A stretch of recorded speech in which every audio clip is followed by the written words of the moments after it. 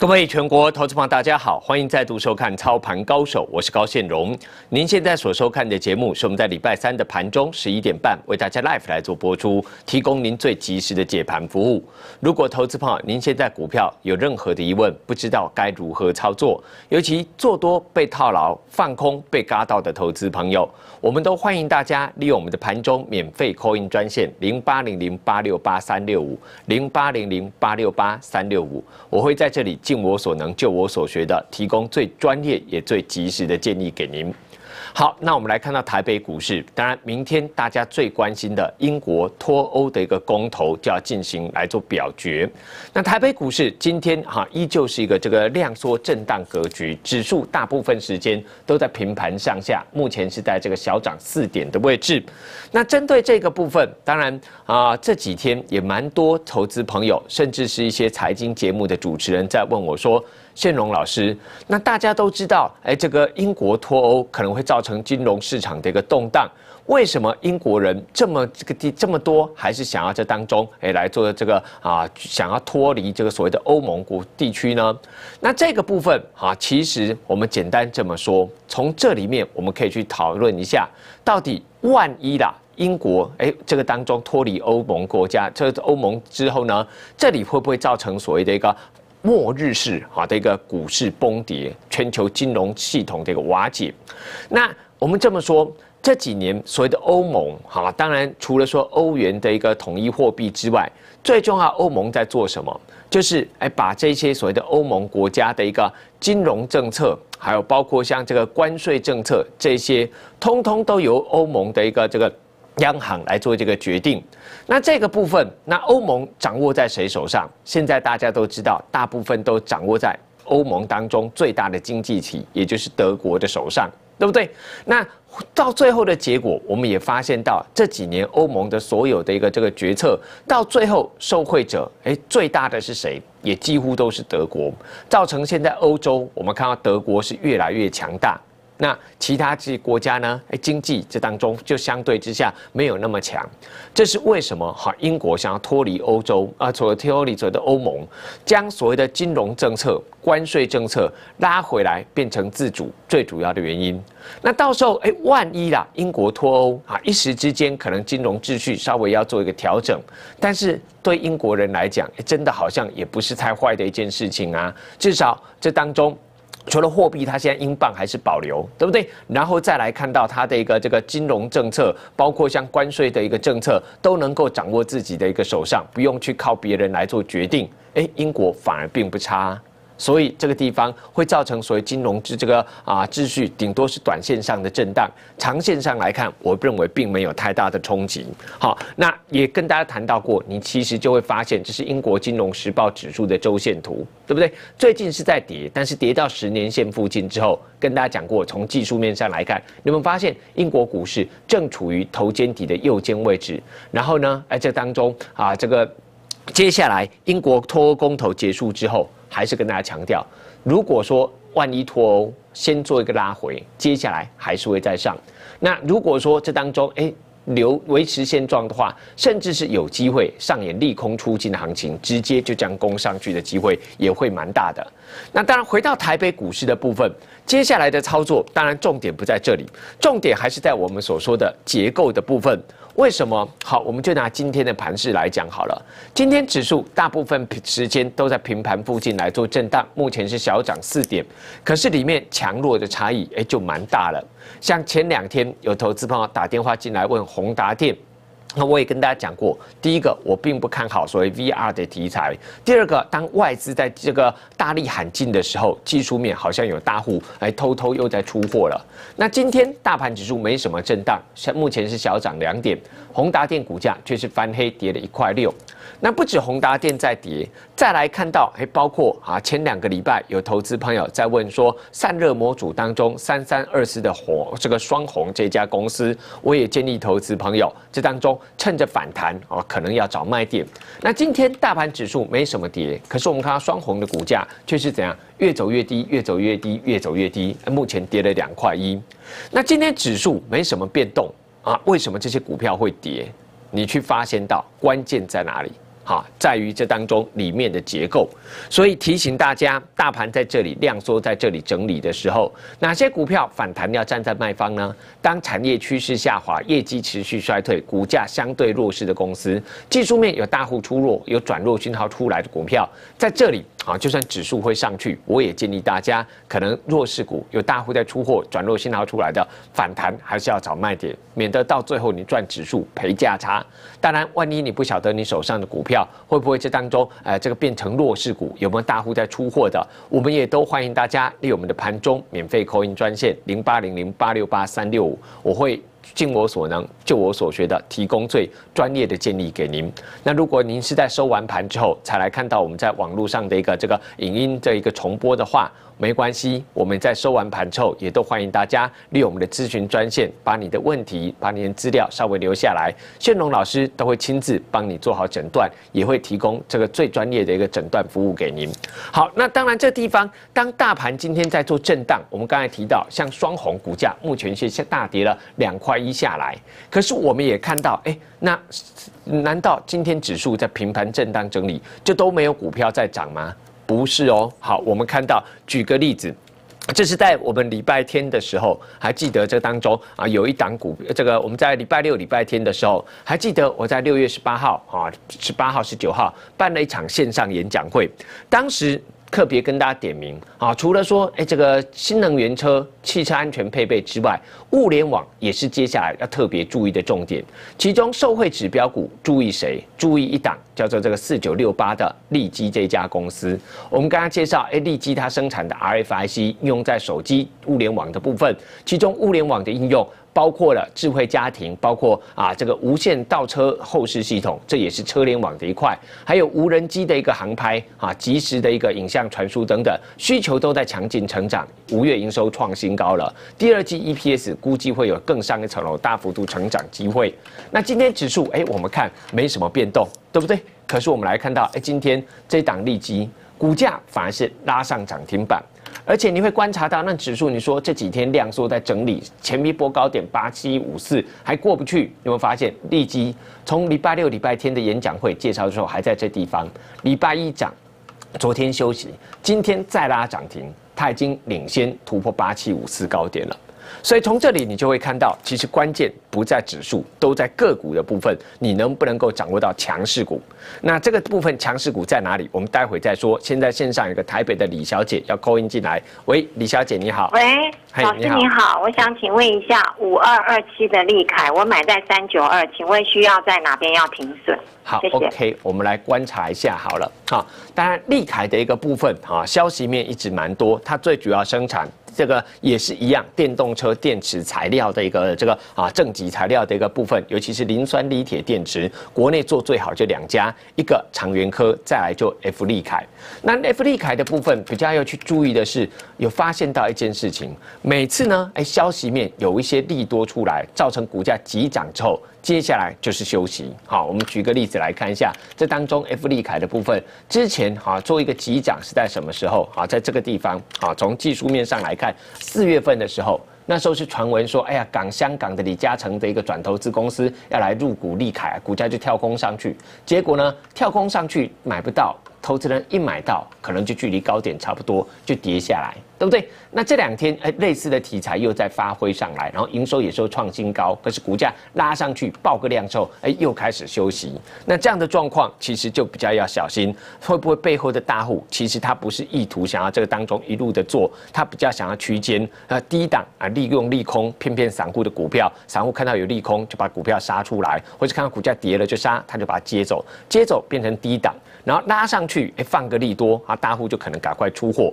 那这样的股票就。比较不容易大波段，可能来回区间比较适合。那刚才李小姐也问说，那那这个地方可能最近买了之后，哎，又开始拉回，什么时候要停损？好，但如果说观察了哈，这地方这个点位哈是在六月这个六号的时候，它开始再度一根放量长红。原则上技术分析来讲，这一根爆量哈，这个低点哈。不能够破，破了的话，代表说上档买进的全部都套牢，就会有转弱的危险。好，这是部分来看的话，是给李小姐的建议。观察六月六号，当然详细价位我不能够在节目当中说，你就要注意那一天的低点哈，不能破，破的话可能就要换股操作。好，那回来继续跟大家谈，谈到说这个行情，刚才跟大家讲，其实指数在这里震荡震荡的时候，最重要做的是什么？大盘在量缩整理，哪些股票反弹要站在卖方，一定要去注意。相对的，很多强势股，我们看到，包括礼拜六啊，这礼拜天，我们在线上演讲会当中所介绍的啊，这个。四九六八的一个呃利基这家 RFIC 物联网的概念股，股价呢今天却已经领先大盘突破八七五四高点，攻上了涨停板，发动攻势。所以很明显可以看到，强势股、弱势股差别就来了。而且重点不只是一档利基，你会看到重点，我们拉回来谈到这波我们所锁定的新能源车的一个部分，可以说是一档接一档，好，再度的一个发动攻势。其中这里面好包括了，举个例子，除了说这里面我们看到去年的同志在 EPS 从二零一四年的五块八飙涨到九块，今年第一季啊更赚到五块钱，全年可能这当中乘以四变二十块，股价翻了不止一倍吧，对不对？然后至今的部分，哎，你也看到跟大家去大家介绍的时候才五十五块，当它 EPS 去年三块九，今年第一季就赚了两块钱，乘以四，今年可能挑战八块钱的时候，股价呢也已经领先又涨了一倍上去。这就是我所说的。其实，当你在那里在意指数的时候，你有没有发现，你重点要去找到强势股？强势股有一个业绩未来大幅度成长的力道出来，那个股价都会领先，而且要赚一倍不难，甚至不用靠指数上万点。都有机会。那再来，不止说这当中同志至今啊，好，我们跟大家持续锁定在美国这个汽车安全配备那里面。举个例子，智深科六十四、六十六块，跟大家推荐到现在这个礼拜也涨到多少？超过一百二十块了，对不对？这两天啊，你说股价在跌耶，哦，那可是你看啊，指数涨不动哎，今天最高来到多少？一百二十二块半了。从六十四到六十六，建议大家到现在一百二十二块半了，还在继续创新高啊！再来看到建林的部分，去年十二月当建林股价拉回到低档，我们都跟会员朋友讲，那时候发生了一个事件。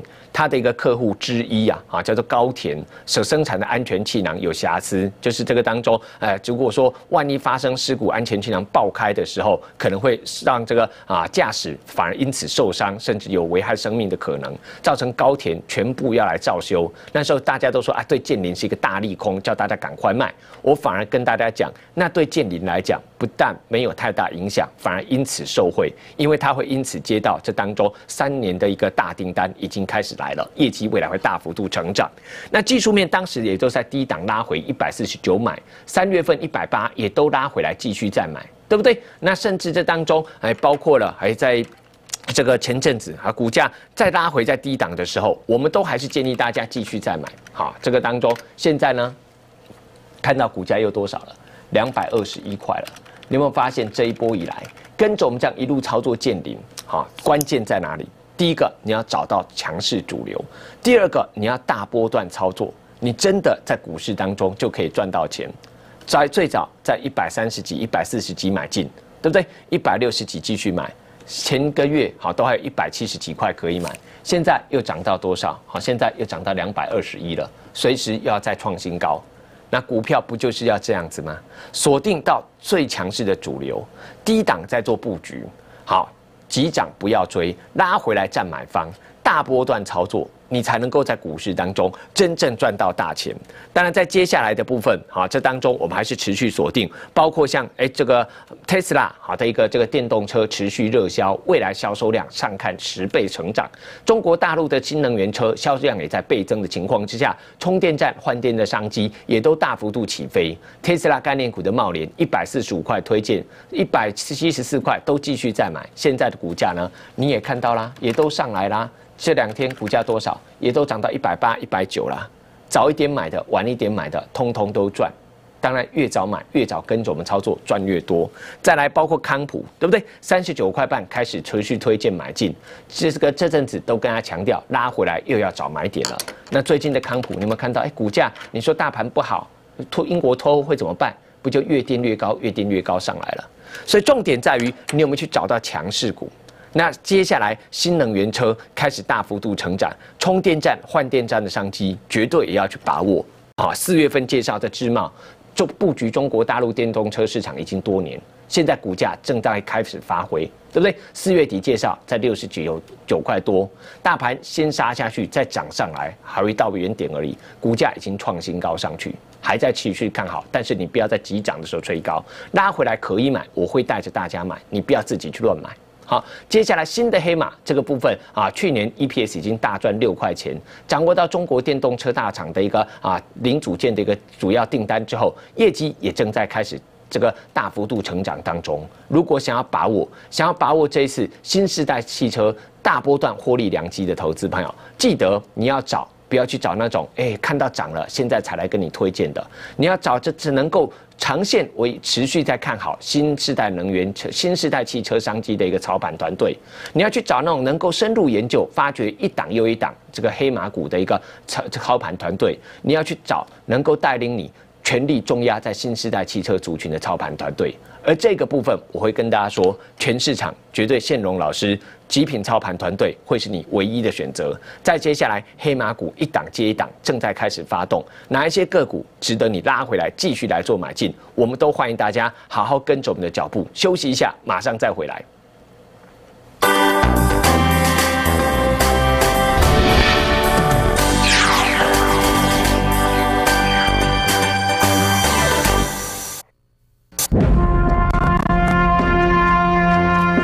家园时，请穿雨鞋、戴手套，先做好自我保护。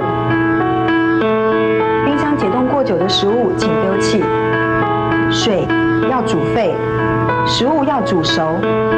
积水一周就会生蚊子，废弃容器要尽速清除。多一分警觉，多一分自我保护。成通投顾。极品操盘团队由高老师亲自带领，专业用心重诚信，提供给您最用心的解盘分析，最前瞻的产业观点。洽询热线零二二七五二五八六八二七五二五八六八。成功投顾高老师，极品操盘团队入会专线零二二七五二五八六八零二二七五二五八六八，限时来电入会，让您轻松享有最专业的操盘服务。三大保证：第一，保证正派经营，绝不和公司派大股东主力做手，勾结坑杀散户；第二，保证诚信为本，以绩效诚信为公司营运主轴；第三，保证带进一定带出，精选持股，持股集中，保证带进一定带出。成功投顾拥有股票、期货双证照。带您领先洞悉市场，稳健获利，无往不利。陈通投顾值得托付，零二二七五二五八六八。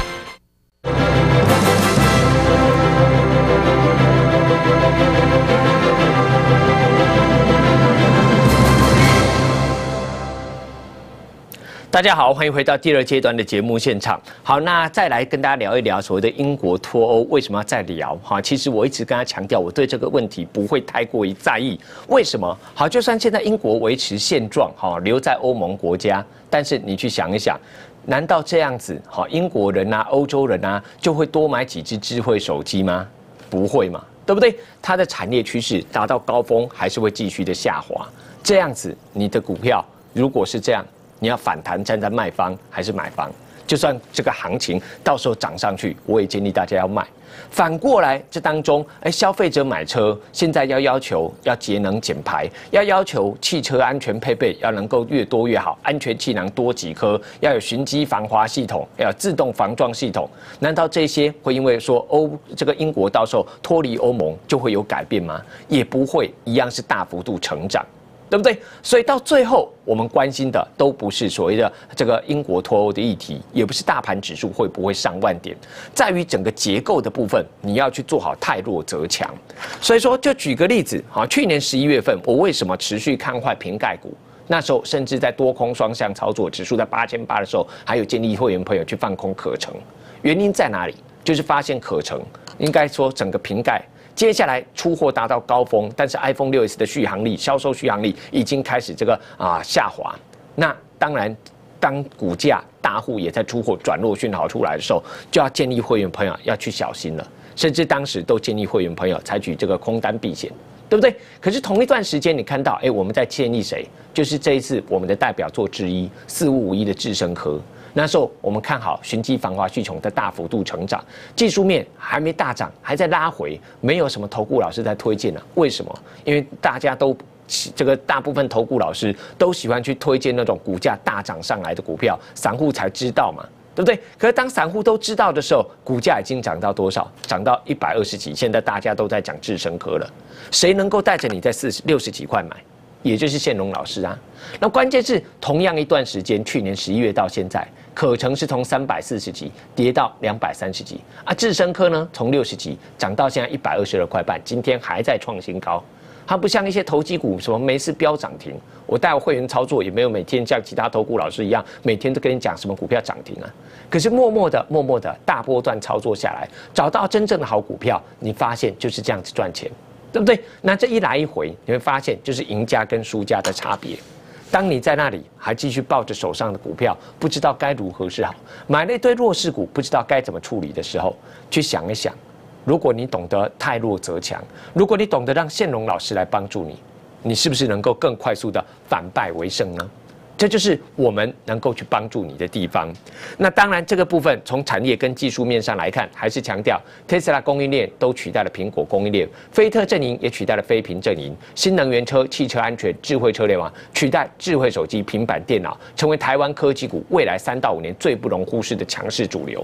或者说，未来三到五年会有看到很多新能源车，会有看到很多汽车安全配备相关的一个供应链里面的一个有技术的好公司，有竞争力的好。公司业绩将会倍数成长，股价呢会不会倍数飙涨？当然，我们已经看到了，我们已经看到了这个部分啊。去年的同志在 EPS 倍数在倍数在倍数的情况之下，股价涨完一倍再来一倍，对不对？看到了这个至今在业绩从去年的三块九，今年第一季单季就赚了两块钱的情况之下，全年上看八块钱吧。那股价呢？还不用等到那时候，股价已经先翻了一倍了。再来看到智深科，啊，现在也越来越多人讲了，为什么？股价已经从我们介绍的六十四块，又大涨到一百二十几块了。都再度证明，真的能够在股市当中赚到大钱的，不是像其他投顾老师那样每天在带货员杀进杀出去追逐涨停板，是能够像宪龙老师这样，真正找到最有竞争、最有爆发力的产业、最有竞争力的好公司，一档一档在低档即布局，急涨不追，拉回来持续站在买方，对不对？现在建林股价也已经大涨上来，现在我们看到越来越多的股票一档一档来做加温。新的黑马也开始要来做这个锁定，随时可能会出发。如果说投资朋友想要真正掌握到这波台北股市第三波主升当大行情的，建议大家多头火速归队。记得台股每波挑战万点，掌握到主流大波段操作，财富翻一倍并不难。关键你能不能够找到主流，你能不能够大波段操作？如果不行，我们都诚心欢迎大家加入谢龙老师亲自带领的极品操盘团队，好好把握。我们明天见。